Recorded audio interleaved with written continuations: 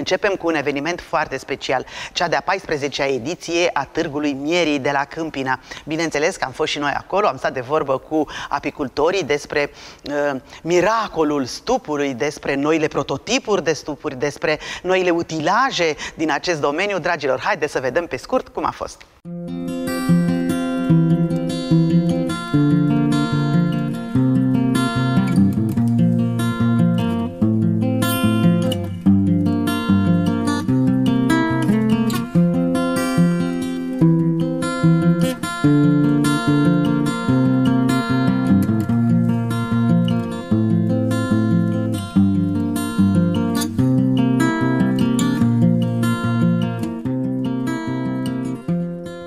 Este a 14-a ediție a Târgului Mierii Câmpina. Uh, avem foarte mulți expozanți din toată țara, avem și invitații din străinătate.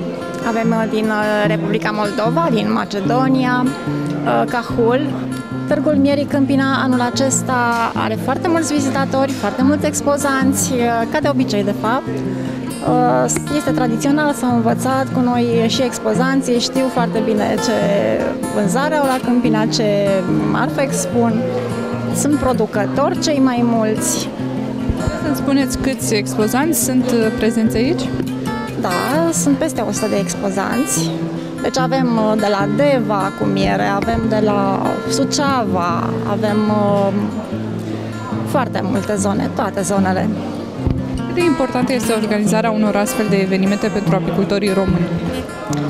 Uh, importanța este foarte mare. În primul rând, promovarea produselor apicole, care sunt sănătoase, care sunt uh, deosebite. Este foarte important să se consume miere, să se consume produse apicole. Am venit cu diverse sortimente de miere, miere de mană, care este o miere foarte bogată în minerale, conține un antibiotic natural, este o, o miere de calitate deosebită, nu e o miere din floare, este o miere care provine din, uh, de pe rășina, de pe scoarța copacului. Uh, am mai venit cu mierea de salcâm, miere de oțetar care este o miere foarte parfumată și gustoasă. Uh, această miere este, se face mai rar Uh, și am mai venit cu polifloră, miere polifloră, miere de tei, miere de rapiță. Din uh, experiența dumneavoastră, puteți să-mi spuneți care dintre aceste produse are, este cel mai apreciat, ca să spun așa, care este cel mai căutat de consumatori? Uh, cel mai căutat produs este mierea de salcâm. Uh, pare o miere mai ușoară. Ce proprietăți are acest, acest produs?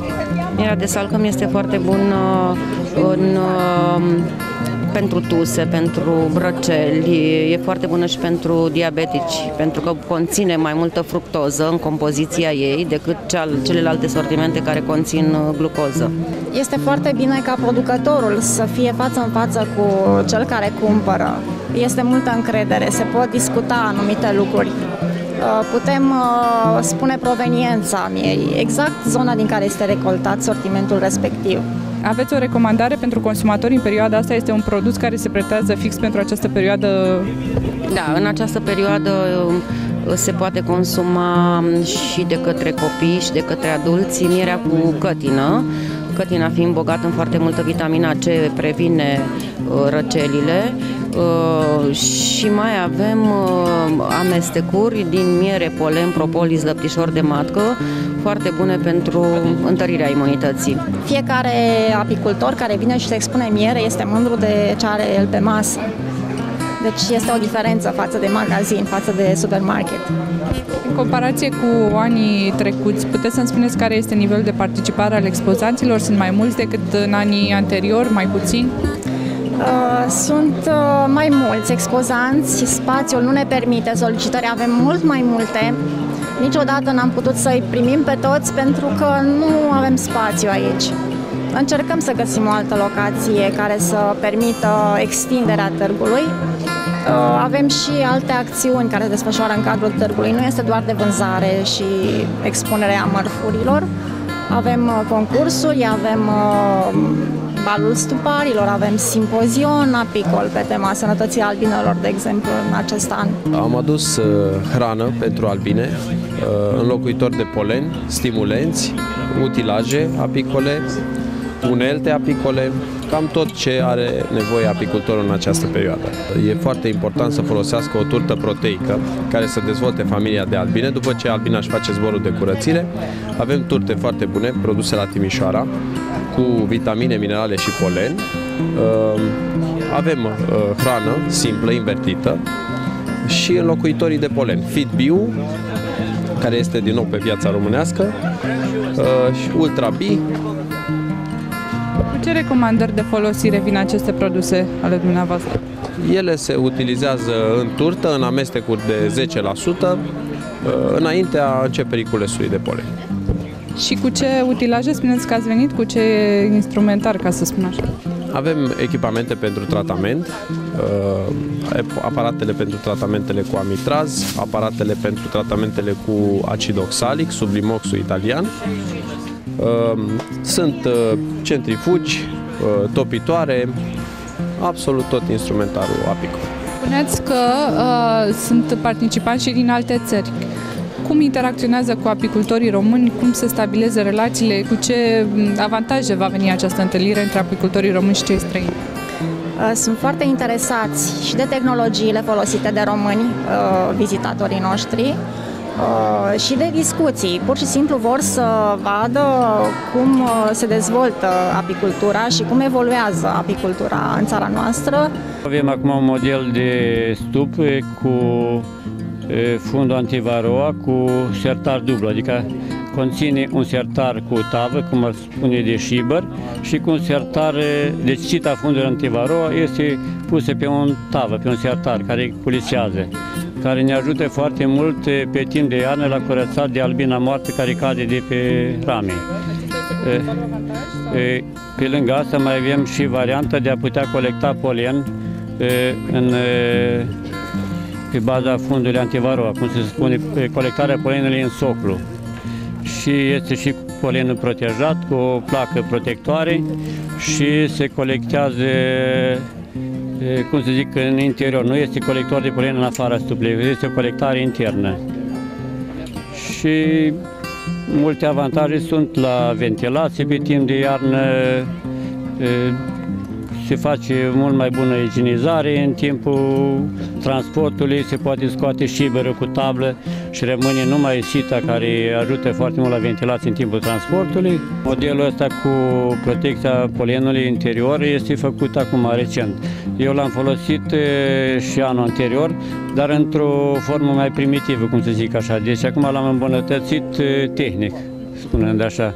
Și l-am făcut pentru un client care își dorește să facă, să poată erna două familii, cum să zic, într-un sub de 12 rame, să meargă tip horn pe înălțime, cum ar fi ceva asemănător cu stupul vare. Dar pe mărimea de rame de 3 pe 4, așa a dorit clientul și l-am pregătit pentru el pe mărimea asta de rame. Dar se pot face și pe mărimi de rame întregi, de 3 pe 4, 1 pe 2, depinde din înălțimea ramelor. Credeți că va avea succes printre apicultori? Este ușor de manipulat, de întrebuințat? De lucrat sunt avantajele la iernare și depinde acum în ce direcție vrea să folosească apicultorul stupul respectiv, în pastoral, staționar sau ca un hobby. Deci este avantaj pe orice variantă de a folosi stupul. La Târgu de la Câmpina ne prezentăm cu o varietate de echipamente apicole, uh, atât uh, centrifugi cât bancuri de descăpăcit pentru rame. La fel uh, avem în acest an mai multe noutăți de la producători din România, din Polonia, din Lituania, echipamente care ajută apicultorul pentru buna funcționare în stupină și pentru a-și fructifica mult mai repede produsele din stupină. Care sunt aceste produse de noutate despre care vorbim? Aici avem uh, patru produse noi pe care le comercializăm cu succes uh, de câteva luni de zile avem un uh, colector de venin pentru albine, avem un separator de păstură care este foarte apreciat de către apicultori, le ușurează foarte mult munca, păstura se extrage destul de greu. Uh, acest aparat uh, funcționează rama cu păstură se pune la congelator și prin acest robot se separă foarte repede păstura față de, de ceară. La fel avem un colector de lăptișor de matcă, destul de popular în ultima perioadă în România. Lăptișorul de matcă românesc este căutat și apreciat. Uh, aici avem uh, pentru apicultorii care doresc să-și comercializeze mierea. Este un recipient uh, transparent cu luminat și cu încălzire pentru a obține o temperatură constantă mierea ușor de dozat la recipientele clientului. Colectorul de venin este fabricat de un producător din România. Avem mai multe variante. Acesta este o variantă cu patru plăci de colectare. Colectează de la 4 stupi odată. Avem uh, cu 8 plăci, dar uh, și cu o placă pentru cine dorește doar să testeze la început. Uh, în ultima perioadă s-a văzut un interes destul de mare pentru venin, veninul de albine. Acum nu sunt chiar foarte mulți doritori, dar este un produs care se pune accent în ultima perioadă. Cât de accesibile sunt aceste produse ca și preț? Uh, apicultorii care doresc să-și dezvolte business-ul în acest domeniu, prețul, nu, prețurile sunt foarte accesibile pentru moment. Vă adresați una, unei anumite categorii de apicultori cu un număr da. de stup? Uh, în principiu, da. Pentru a extrage lăptișor de matcă, pentru a extrage păstură sau venin, într-adevăr, apicultorii trebuie să aibă o experiență. Uh, cred că și cel puțin o experiență de 5-7 ani de zile. Uh, de obicei, apicultorii care au 5-7 ani de zile, numărul de stupi se ridică minim la 100 de stupi. Oricum, pentru colectarea veninului ai nevoie de mai mult stup pentru că se colectează doar de o parte din stupi și stupii aceia trebuie să fie izolați într-un loc retras față de restul stupinei. Interesul cel mai mare dintre tot ce avem aici este separatorul de păstură, sincer. Păstura este foarte căutată în ultima perioadă uh, de către clienți, de către populație. Uh, modul de recoltare a păsturii este unul foarte ușor pentru apicultori. Acest separator de păstură este, să zic așa, vânzările hot în acest moment. În apicultură sunt probleme, destul de multe. Avem PNA, de exemplu, Programul Național Apicol, care, din punctul meu de vedere, se poate îmbunătăți.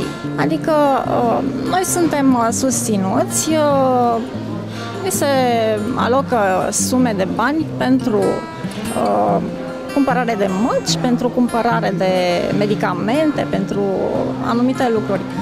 Se pot îmbunătăți aceste programe Uh, sunt discuții și probabil că se va lua o hotărâre bună pentru apicultori.